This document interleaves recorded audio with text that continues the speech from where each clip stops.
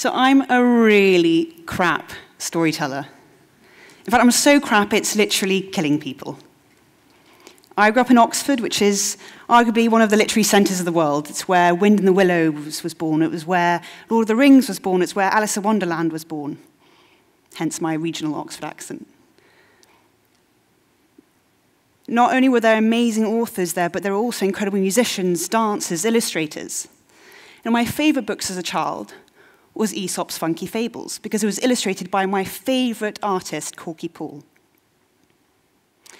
Now, Aesop was a slave come storyteller who has been attributed with writing over 100 fables. And fables are just short stories that have some sort of moral at the end. It's a really good parenting tactic. You could be like, Maxine, just, just be patient, take it easy. Or you could tell me a story about kind of complex interpersonal anthropomorphic dynamics between a hare and a tortoise and a misaligned nap, and before you know it, I'm taking life pretty chilled and being a patient person. We all know the importance of storytelling. We're a self selecting crowd here in the fact that we've come to a TEDx. We know that stories are super important from educating a child to changing the way a nation thinks. So, now that I'm sort of grown up and a half fully fledged adult, society tells me it isn't acceptable for my dad to read me bedtime stories. So I'm now a serious, slightly nerdy storyteller. I'm a data scientist. And I take massive, massive data sets in healthcare, specifically from the NHS, and try to tell stories from them. I try to find threads, narratives, trends, exceptions to trends, counter trends. It's the best job in the world, and it is super exciting. And unlike Herb, in academia, you do not get paid half a million, unfortunately. But my stories aren't super exciting. My stories don't have a cool moral at the end. My stories end with things like the area under the receiver operating curve is 0.98. You're not exactly on the edge of your seats right now, are you? And that's a massive problem. We have an epidemic of terrible storytelling when it comes to academia. And data scientists are maybe not known for their eye contact and coherent sentences, but it's so important to tell proper, proper stories when it comes to data science, and more importantly, to tell proper stories when it comes to data science and health. The NHS is one of the greatest institutions in the world, and it's sitting on an absolute goldmine of information. And healthcare is completely changing as a result of the data that we potentially have access to. But because of these terrible stories we tell, we don't have public support. The result of that is it has taken me years, literally years, to get access to some of this data because it's so tightly regulated. When you get access to the data, it's often so broken up you can't even make sense of it. Or worse, you just sit and wait and never get access to the data. But actually, it's even worse than not having public support actually, you don't know that I have access to it. Less than 20% of you know that people like me, researchers, exist, and people like me are looking at your health data on a day-to-day -day basis. So let's take a step back. I think that I couldn't have said this a year ago, but we now have a pretty good understanding about what is happening with our data. You might not have known what GDPR was a few months ago, but boy, you knew on the 25th of May, when your inboxes were full of messages that basically looked like they were from a needy ex-boyfriend. Please let not this be the end. I want to stay in contact. You're like, please no. But we're starting to understand that actually there are people out there using our data for ways that hadn't really occurred to us. For many of you, it wouldn't have occurred to you that when you go and walk into your GP surgery and you sit down and, I don't know, talk about your sort of latest niche food intolerance, and they're typing away, writing, you know, hypochondriac, drama queen, drop down menu,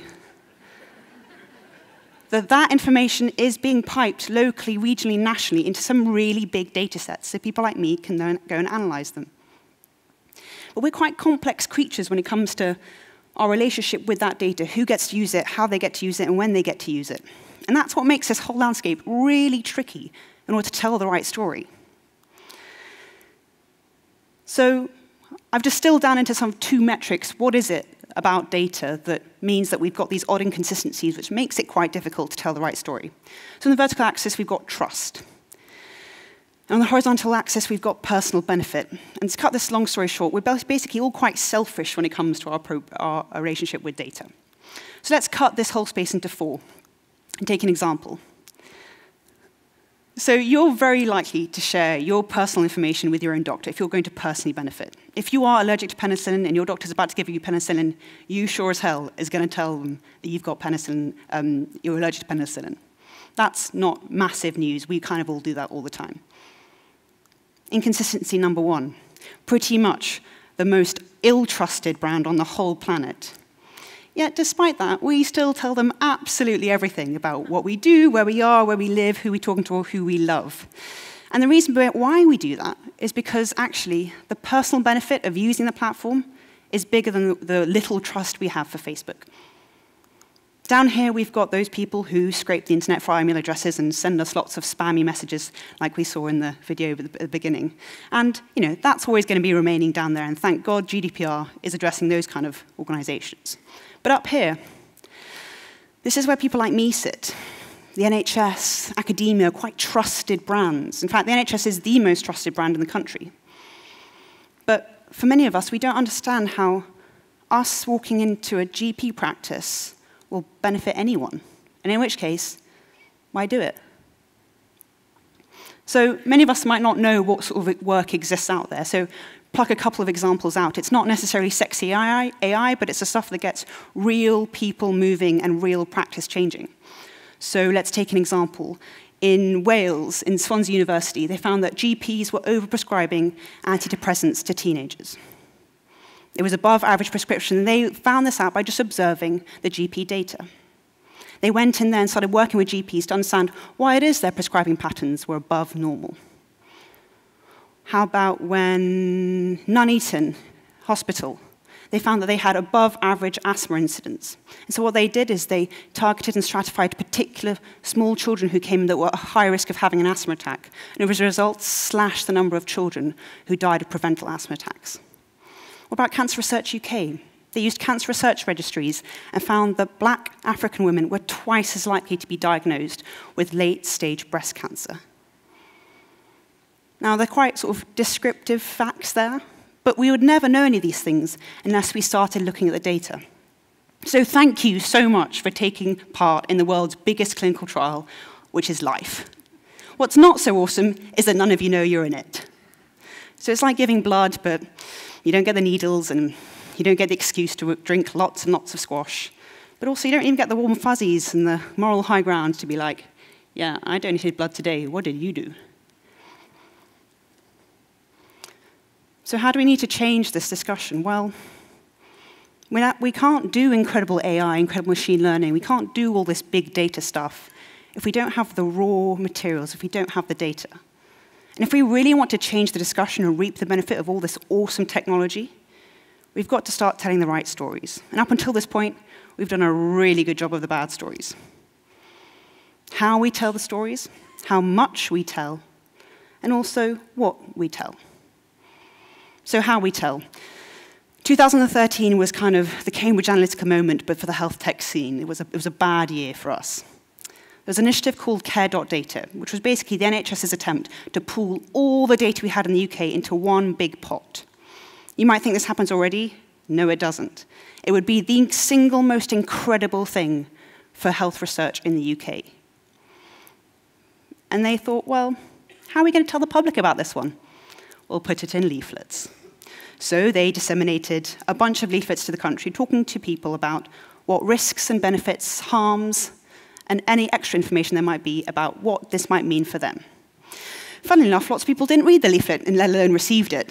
And so when people started catching wind of the fact that everyone's data was being linked and it could potentially be sold to pharmaceutical companies for research, understandably, people started to get a bit worried. Several years later, after several iterations, this whole program got pulled.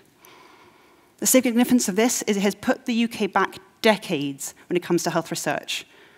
We're basically in line with the Americans now. Terrible. Another one is about how much information you tell people. So another distillation diagram. One is how anxious you are. And two is how much knowledge you have. And this is kind of a graph again about your willingness to share data. And let's presume that acquiring knowledge takes a fair amount of time. So if you're right at the bottom, in the bottom left-hand corner, you're not very anxious when you don't know anything. You're living in blissful ignorance. Most people know a little bit, though. And it was found out that actually, the more you tell people about what happens with data, the information governance, the ethics, the processes, the more anxious they get. So before you know it, you're kind of balls deep in IG processes and you don't know what you're doing, and you're basically so anxious you're completely paralyzed. But then there's a moment where all the pennies drop, and actually you realize, hey, I, I get the benefits of data sharing. I get that by me sharing my data with people, others can benefit. And these are my risks and these are the benefits. I, I get it. Unfortunately, it was thought that this whole curve takes about two weeks. We don't have two weeks of teaching those really boring topics when it comes to data science. So what, how can we get over this, this kind of barrier of knowledge? Thirdly, it's what we tell. So many of us will see these sorts of headlines not infrequently. You know, big tech companies building partnerships, potentially slightly dodgy, with the NHS, or big cybersecurity breaches where potentially millions of patient data is lost. Doesn't do great for public confidence, does it? But those are really attractive headlines. You know, it is meaty apocalyptic sentences here. It's not, you know, Bernadette shared her data and Jerry's now alive as a result. so what stories do we tell? So go back to my examples. It, it's, it's not that Nuneaton's got above average asthma incidence. It's that that child didn't die because they had a process in place based on that data. It's the story that a black woman, in fact, hundreds of black women, can now receive life-changing chemotherapy because it was identified that there was a disparity between ethnicities in breast cancer detection or it was that little girl who was able to sit her GCSEs because she wasn't suffering from awful side effects of too many antidepressants. Those are the stories. What about a story of a lady who devoted her whole life to public service? And then, over time, she started to find herself struggling with words and tripping over her sentences. And before she knew it, she was sitting in front of a doctor, and he was telling her that she had late stage brain cancer. Dame Tessa Jowell died a few weeks ago, but she did not die quietly. She died with an absolute roar. And she said, It is my hope that through my cancer journey and sharing of my data, we'll be able to develop better treatments for cancer and speed up the discovery of new ones. She didn't talk statistics, she didn't talk numbers. She talked about her personal experience and her pledge for the common good to share data. Because of that story that gets you right here, she absolutely shifted the needle in this whole discussion. Brain cancer research has been going on for decades, but in the past couple of weeks, there's been a 40 million pound fund allocated to brain, further brain cancer research. There's been a new cancer registry set up so people could donate their data to it. We've never seen so much change happen because of one person. And why is that? Because she told a personal story.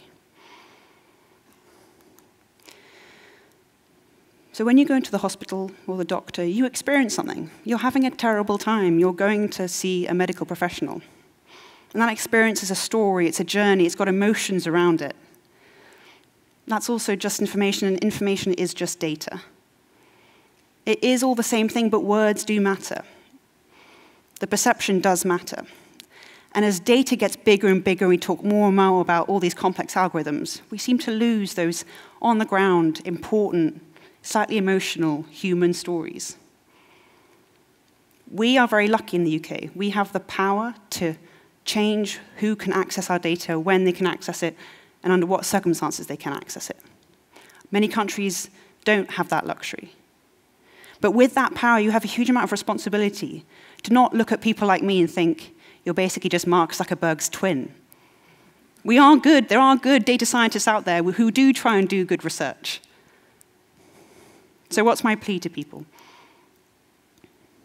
To the media out there, read The Fox and the Turkey. It's one of Aesop's best ones. By too much attention to danger, we may fall victims to it. If you constantly publish really dramatic, misrepresentative stories about access to data, you are swaying public knowledge about what's happening. So if you want an apocalyptic headline, how about you investigate how many lives have been lost from not sharing data as a result of those negative headlines. the data scientists, read The Crab and Its Mother.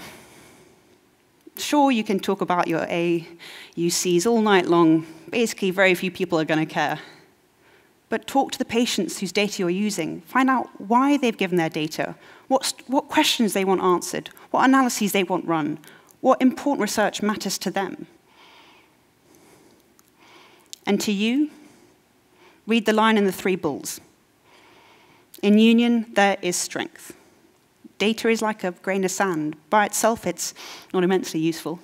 But you put it together and you get an incredible beach upon which hundreds, if not thousands, of people can reap the reward.